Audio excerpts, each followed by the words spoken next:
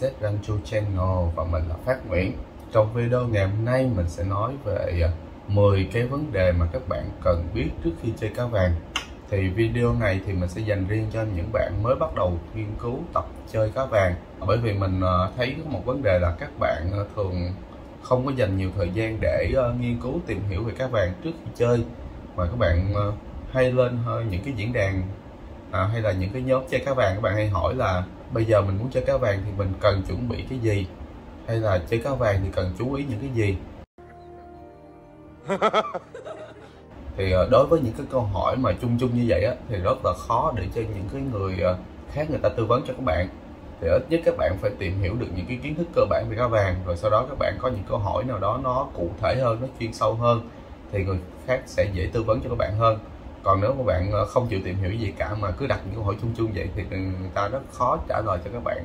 Thì thật ra mình ờ, cũng không có nhiều thời gian để mình ngồi mình tư vấn cho các bạn ờ, tất tần tật tất cả mọi thứ về cá vàng. Bởi vì để mà có thể gọi là tư vấn được đầy đủ thì có thể phải ngồi chat mấy tiếng đồng hồ.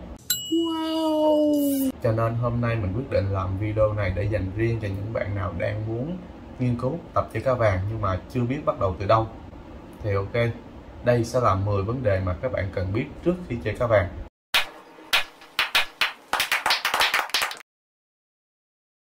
Điều đầu tiên mà các bạn cần biết đó là hồ. Thì đối với cá vàng thì các bạn có thể uh, sử dụng hồ kính, hồ xi măng, thùng xốp, uh, hồ lót bạc vân vân.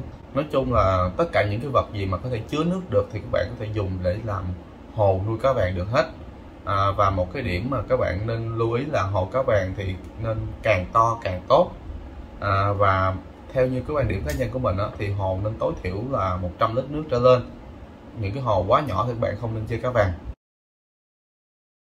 Điều thứ hai đó là mật độ nuôi cá vàng. Có rất là nhiều quan điểm về mật độ nuôi cá vàng. Có những cái quan điểm thì cho rằng là con cá đầu tiên thì uh, các bạn cần 60 lít nước. Rồi những con cá tiếp theo thì uh, là mỗi con khoảng tầm 15 tới 20 lít nước. Thì cái quan điểm này cũng ờ, đúng nhưng mà nó hơi phức tạp, các bạn phải chia ra là con đầu tiên, con thứ hai, con thứ ba, nó hơi phức tạp khi tính toán. Cho nên là đối với mình thì mình quy định luôn là cứ ờ, cá lớn là mỗi con khoảng tầm 20 lít nước, còn cá nhỏ thì mỗi con khoảng tầm 10 tới 15 lít nước. Đó, các bạn cứ chia trung bình ra thì dụ bạn có 10 con cá lớn thì hộ các bạn phải từ 200 lít nước trở lên hoặc là bạn có 10 con cá nhỏ thì hồ của bạn phải từ 100 tới 150 lít nước trở lên. Điều thứ ba đó là lọc. Lọc là một cái thứ mà bắt buộc phải có đối với nuôi cá vàng. Tại vì uh, cá vàng ăn ị rất rất là nhiều luôn cho nên là cái lượng phân nó sẽ thải ra trong hồ rất là nhiều. Nếu không có lọc thì nước của bạn sẽ không bao giờ trong được. Những cái phân mà nó lắng động ở trong hồ nó sẽ tạo điều kiện cho dịch bệnh bùng phát trong hồ cho nên lọc là một cái yêu cầu bắt buộc đối với các bạn chơi cá vàng. Còn uh, cái vấn đề là lọc như thế nào thì uh, cái này bạn có thể xem trong video hướng dẫn xét lọc của mình. Mình có làm video đó rồi. Nếu các bạn uh, không uh, tìm thấy trong trang của mình thì mình có thể coi ở cái phần mô tả video. Mình sẽ gửi đính kèm cái link của cái uh, video đó cho các bạn điều thứ tư đó là máy sưởi oxy. Thật ra là có thể có hoặc là không có cũng được. Tại vì thứ nhất các bạn đã có lọc rồi cho nên là cái luồng nước chảy từ lọc có thể tạo nên oxy trong hồ cá. Cái điều thứ hai á, là cái mật độ nuôi cá nếu bạn nuôi cá mà mật độ thấp á, thì bạn cũng không cần thiết có oxy. Tuy nhiên thì ờ, nếu mà các bạn hỏi mình là có nên có oxy hay không thì mình nói là nên có và đặc biệt là phải có máy sửa oxy tích điện luôn chứ không phải là máy sửa oxy bình thường nữa. Vì sao cần phải có máy sửa oxy? Thứ nhất á, là cái lọc của bạn không thể nào đảm bảo là nó sẽ luôn luôn hoạt động. Thí dụ như là bơm nó bị hư hay là cúp điện hay là các bạn tắt lọc cho ăn các bạn quên bật lọc lại thì những cái trường hợp đó thì rất cần thiết có một cái vòi sửa oxy trong hồ. Để khi có những cái sự cố trên xảy ra thì cái hồ cá của bạn vẫn không bị thiệt hại vì thiếu oxy điều thứ năm đó là về nước. Thì à, đối với mình á, thì cá vàng không phải là một loại cá kén nước. Các bạn có thể sử dụng nước uh, trực tiếp từ uh, vòi nước máy luôn để thay trực tiếp cho cá luôn. Tuy nhiên là khi bạn sử dụng trực tiếp nước máy thì cần để ý là chúng ta nên hạn chế thay quá 50% lượng nước có trong hồ để tránh làm cá bị ờ, sốc nước. Còn nếu các bạn ờ, có điều kiện thì các bạn có thể sử dụng thêm những cái dung dịch khử clo nữa để đảm bảo an toàn cho cá. Đó là tùy điều kiện kinh tế của các bạn như thế nào. Còn đối với tại shop AZ Anh Chu thì mình sử dụng là 100% nước máy trực tiếp và mỗi lần thay nước là mình thay 50% điều thứ sáu đó là về thức ăn thì đối với cá vàng nó nó là một cái loài ăn tạp các bạn cho nên là gần như tất cả những cái gì mà nó vừa miệng của nó nó đều ăn được hết từ rong bèo cây thủy sinh rong rêu trong hồ các loại cám uh, trùng chỉ trùng huyết trứng hấp và kể cả những loại cá nhỏ hơn nó luôn. Có nhiều người là còn cho cá cá vàng là ăn, cá mồi luôn á. Cho nên có thể nói là cá vàng là một cái loại cá dễ nuôi. Các bạn cho nó ăn cái gì nó cũng ăn được hết. Tuy nhiên thì để đảm bảo cái nguồn dinh dưỡng cho cá vàng, các bạn sẽ cần phải nghiên cứu sâu hơn. Còn cái việc mà một ngày cho ăn bao nhiêu lần á, thì cái này là nó sẽ tùy thuộc vào cái sự rảnh rỗi của các bạn. Ví dụ các bạn rảnh, các bạn ở nhà thì các bạn có thể ngày cho ăn 7 8 lần. Còn nếu các bạn bận rộn công việc thì mỗi ngày bạn cho ăn một lần hai lần và các bạn có thể nhịn đói được cả tuần cũng không sâu cho nên các bạn cũng đừng quá lo lắng cái vấn đề là cho cá ăn như thế nào. Chúng ta nuôi cá là để giải trí để dưỡng tâm để cảm thấy thư giãn thoải mái chứ không phải là đi phục dịch cho những con cá. Còn đối, đối với mình ở đây á, thì mỗi ngày mình cho ăn hai lần một lần buổi sáng trước khi đi làm và một lần buổi tối sau khi đi làm về. Còn những ngày nào mình mình bận rộn công việc quá buổi tối mình về trễ là mình không cho cá ăn buổi tối luôn tại vì uh, cũng không nên cho cá ăn trễ sau 8 giờ tối. Và buổi tối các bạn cho ăn xong các bạn cũng nên bật đèn để cho cá nó bơi lội nó thư giãn và, và tiêu hóa thức ăn. Trước khi mà mình tắt đèn cho cá đi ngủ. Còn nếu các bạn muốn tìm hiểu kỹ hơn về vấn đề là cho cá vàng ăn như thế nào cho hợp lý thì mình cũng có video clip này rồi luôn. Bạn có thể xem ở phần mô tả video mình sẽ đính kèm link của cái video đó để các bạn tham khảo kỹ hơn. Ờ, điều thứ bảy đó là về vấn đề pH à, thì đối với đa số những loài cá thì là vấn đề pH nó cũng khá là quan trọng. Và cái độ pH mà thích hợp để nuôi cá vàng đó là từ 7 tới 7.5 các bạn. Tuy nhiên thì à, cái đó là lý thuyết thôi còn trên thực tế thì nếu các bạn để pH nó cao hơn một chút hoặc nó thấp hơn một chút cũng không có vấn đề gì quá lớn. Các bạn cũng không cần phải uh, kiểm tra pH hàng ngày.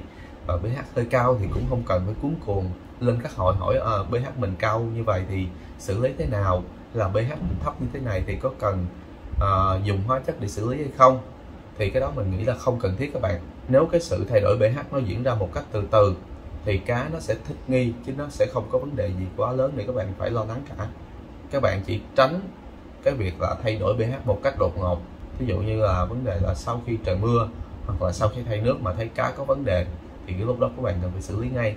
Còn nếu như mà bạn nuôi cá một khoảng thời gian thì uh, chắc chắn luôn là pH con hồ sẽ bị tuột vì à, phân cá và chất thải cá nó sẽ làm tụt pH cho nên các bạn nuôi cá khoảng tầm một tuần mà không thay nước thì pH nó sẽ tụt xuống còn khoảng 4 năm thôi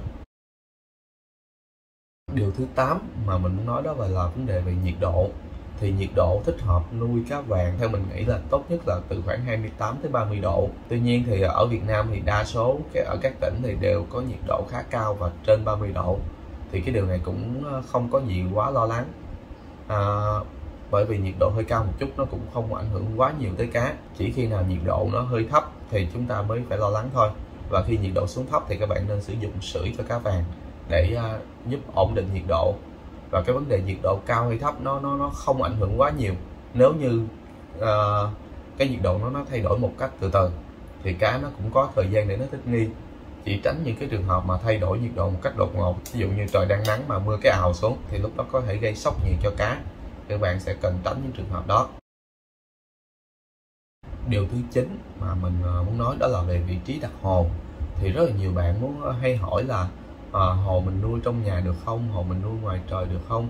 Đối với mình thì à, vị trí đặt hồ ở đâu nó không quan trọng. Quan trọng là mình đặt xong rồi mình à, sẽ làm cái gì tiếp theo. Thí dụ như là mình đặt hồ trong nhà đi. Đối với cái hồ trong nhà thì cá nó thường bị tình trạng là thiếu sáng, thiếu nắng. Thì lúc đó chúng ta nên sử dụng những cái loại đèn mà có ánh sáng cường độ cao và tương đương với ánh sáng mặt trời để chiếu cho cá, để giúp cá nó giữ màu.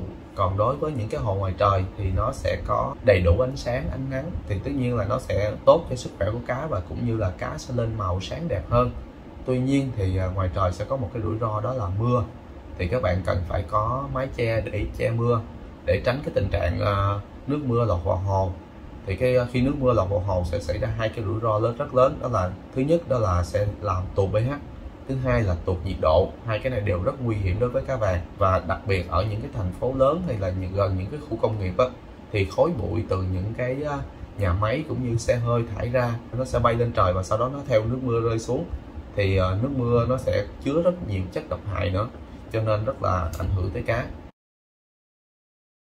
điều thứ 10 mà mình muốn ờ, nói với các bạn là ngoài chính cái điều ờ, trên mình đã nói rồi, thì bây giờ mình sẽ cần phải chuẩn bị thêm một số cái ờ, cái cái dụng cụ cần thiết để mình luôn luôn sẵn sàng chiến đấu khi mà cái hồ cá mình xảy ra vấn đề. Đầu tiên là cần phải có sưởi. Sưởi sẽ rất có ích trong việc điều trị một số bệnh liên quan tới nấm, cũng như là có ích khi mà thời tiết thay đổi đột ngột. Cái thứ hai là muối hột. Muối hột là một cái phần không thể thiếu mà khi chúng ta điều trị bệnh cho cá. Còn à, về bình thường thì mình nghĩ là không nên cho muối vào hồ, tại vì cơ bản là cá vàng là cá nước ngọt. Nhưng đâu phải là cá nước mặn chúng ta không nên cho muối vào để phòng bệnh, mà muối sẽ chỉ được dùng để chữa bệnh cho cá mà thôi. Ngoài ra thì chúng ta cũng nên chuẩn bị sẵn một số cái loại thuốc trị bệnh cơ bản cho cá. Ví dụ như là tetra nhật nè là để uh, dưỡng cá cũng như điều trị một số cái bệnh ngoài da. Neomigina nè là những cái loại thuốc đặc trị uh, nấm nấm mang. Rồi uh, một số loại thuốc đặc trị tiêu hóa ví dụ trimesun chẳng hạn. Rồi một số vitamin khoáng uh, men tiêu hóa. Nên sẵn sàng một số loại thuốc để điều trị những bệnh cơ bản cho cá vàng. Ngoài những cái vấn đề mà từ nãy giờ mình đã nói thì uh, mình cũng có làm rất là nhiều video để nói về cá vàng. Ví dụ như là tiêu chuẩn để chọn cá đẹp nè cách phân biệt trống mái như thế nào nè, cách ép cá, cách chăm sóc cá con ờ, từ lúc mới nở cho tới lớn như thế nào nè, rồi cách làm sao để nuôi cá cho mau lớn, cách xử lý và dưỡng cá mới mua về, vân vân và vân vân. Nói chung là trên ờ, kênh youtube của mình thì có rất là nhiều video clip về rất là nhiều chủ đề mà các bạn nên tham khảo trước khi các bạn nuôi cá vàng. Video đến đây kết thúc. Chào các bạn, hẹn gặp lại các bạn trong những video lần sau.